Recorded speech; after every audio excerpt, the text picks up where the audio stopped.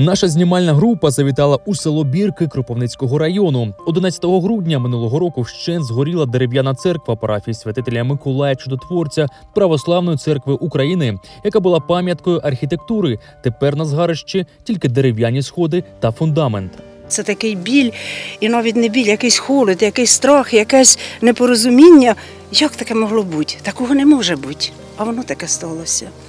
То я як передати словами, це неможливо. Художник-мураліст Олександр Брідцев писав церкву парафії святителя Миколая Чудотворця на полотні. Звістка про пожежу вразила митця, тож він прибув на місце пригоди. З нами ділиться враженнями від події. Ця церква вона була е, таким доказом того, що час існує дуже довгий час е, в, прості, в просторі. І е, коли, коли церква горіла, і, ну, я одразу дізнався е, в цей, в цей же ранок, е, то ну, дійсно це такий осадок був неприємний. Я розумів, що ну от е, 500 років і спалено. Е, 500 років знищено так, що ну, важко буде доказати, що вона існувала, що це козаки будували, що вона була переносна. Все це е, в, ляже в такий архів, е, який буде мало кому цікаво підняти і показати. А так люди приходили туди, туди з'їжджались з усієї області на свята. Вона горіла більше тижня, там дубові, старі висохші дуби. І вона, ми туди приходили після, після того, як вона повністю згоріла, вона ще неділю горіла. Тобто її не могли потушити до останнього. Попри страшну втрату, тут біля згорілої святині кожну неділю все ж проходять богослужіння у маленькому приміщенні для хрещення дітей, а у теплі дні у павільйоні просто неба. Молимося ми за те, щоб пошвидше нас перемога була, щоб за наших хлопців, за Збройні Сили України, за нашу Україну, за процвітання. Життя продовжується. Треба організовувати людей. Треба, щоб наша громада не розпалася, а вона дійсно і не розпалася. Трохи згуртувало, може, це горе, бо до нас багато приєдналося вірян, багато з Олександрівки людей сюди ходить. Згодом після пожежі у громаді постало питання про відновлення святині. Люди почали гуртуватися та збирати гроші, але згодом все ж таки вирішили допомагати нашим збройним силам. Перемога головне. Коли згорів храм, саме перший нашим етапом і головною задачею було те для того, щоб розпочати збір коштів на будівництво храму. Е, Спочатку всі були в такому як шоці і ще не могли конкретно зрозуміти, що до чого. Але всі розуміли, що потрібно почати збір коштів на будівництво храму. Е, Тому парафіальна рада вирішила відкрити е, рахунок у банки.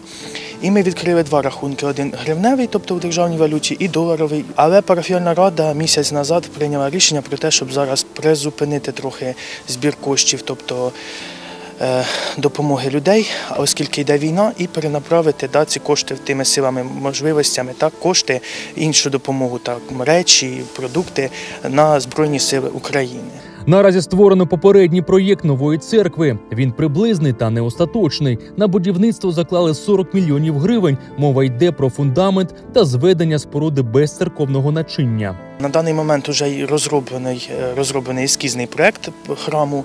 Е, Він буде кам'яний, не дерев'яний, хоча по цьому питанню далі дискусії, суперечки, і в селі вони досі точаться. Але е, люди на загальних зборах і парафіальна рада вирішила, що зараз вже інший час, новий час, і потрібно будувати щось постійне. Тим паче є ризики, тому що нам її знову спалять або якимсь чином зруйнують. Служителі церкви та парафіяни після перемоги чекають на відбудову святині, але є ризик гальмування цього процесу. Храму святителя Миколая Чудотворця ПЦУ 166 років. Це одна з найдавніших в Олександрійській громаді святиня. І навіть обгорілий фундамент наразі залишається об'єктом історичної спадщини, на якому будівництво неможливе. Будівництво храму поки що можна сказати заморожене, тим паче в нас є суперечки із е, відділом культури, так, департаментом культури обласним стосовно того е, питання, що ця споруда, да, згорівши згорілий храм, був пам'ятка архітектури місцевого значення. Зараз для того, щоб нам почати будівництво, потрібно на цьому ж місці, бо люди в селі хочуть виключно на цьому місці будувати храм. Вважають це намовленим місцем, да, історичним місцем. Е, суперечка полягає, що спочатку потрібно списати і зняти з реєстру е, цю споруду. А- А можливості поки що її в цьому немає. Ми самі до кінця не розуміємо, в чому причина. Під час фільмування сюжету ми дізналися, що пожежі вірогідно можна було б запобігти. Звичайно, якщо не брати до уваги навмисний підпал, бо слідство ще триває. Це було б можливо, якщо відповідні органи, а саме департамент культури, моніторив стан пам'ятки. На пам'ятку архітектури мали здійснюватися, да, кожен рік мали, мала приходити комісія. Ми не знаємо, ще не знаємо звідки, чи це департамент культури, чи це місцевий відділ культури. Бо вони поперекидали один на одного відповідальність да, своїми розпорядженнями про делегування повноважень у сфері охорони пам'яток культури. Тобто знайти орган, який безпосередньо відповідав би за збереження пам'ятки, ми не, ми не можемо знайти. Мали приходить якісь е, комісії, які перевіряли стан будівлі, які давали якісь відповідні приписи стосовно як за нею доглядати, чи як її утримувати. Але наскільки нам відомо, таких комісій не було Е, з того часу, як ми, е, наша громада перейшла до Православної церкви України. Директорка департаменту культури та туризму Кіровоградської ОВА Уляна Соколенка у телефонній розмові розказала, що для зняття з балансу такої споруди потрібно рішення мінкультури. Якщо ви кажете зараз про об'єкт культурної спадщини і про те, що сталося, що а, фактично пам'ятка знищена внаслідок пожежі, то звісно тут необхідно готувати облікову документацію на зняття його а, як такого, тому що вже не залишилось нічого. Якщо вони хочуть його будувати саме на цьому місці, вони мають зняти з обліку пам'ятку архітектури, яка там була, власне, сама церква, яка знищена. Відповідно на це треба виділити певні кошти.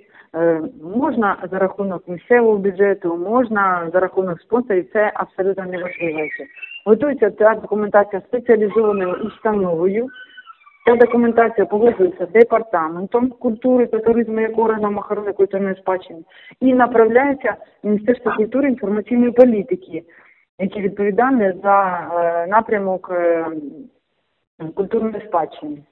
І за рішенням міністерства, коли пройде всі комісії, експертна рада, видається наказ міністра, який ми отримуємо, і тоді ми його знімаємо з обліку. У телефонній розмові зі старостою села Бірки Михайлом Сергієнком ми з'ясували, що проєктна заявка на відбудову святині наразі не дороблена, бо немає гарантій від департаменту культури та туризму, що буде зняття з балансу храму. Вони приїздили, ми їх консультували. Ми їм сказали, е, замовляйте документацію, ми готові її виготовити. У нас є краєзнавчий музей, який може робити таку документацію. У них є така функція, вони можуть зробити її, але має бути замовлення від селищної ради. Тим часом парафіяни чекають на відбудову святині, але коли буде відбудова, та головне, чи буде на це питання, відповіді наразі ніхто не має. Дуже хочуть. Є люди просто байдужі, а є і не байдужі. Небайдужих більше. Помагають чи можуть. Може, то такі невеликі суми, але все вони вони цінні. Навіть слово добре, і то хорошо.